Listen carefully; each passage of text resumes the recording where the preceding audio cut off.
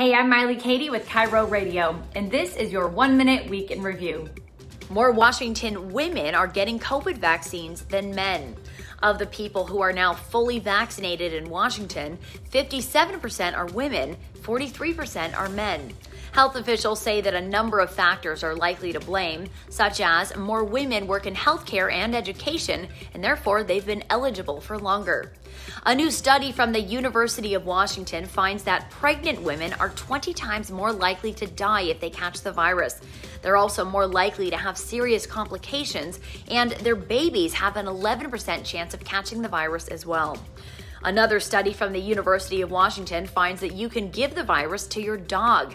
Out of 50 homes studied where there was a COVID positive person and a dog, 23 of the pets, almost half, developed COVID antibodies.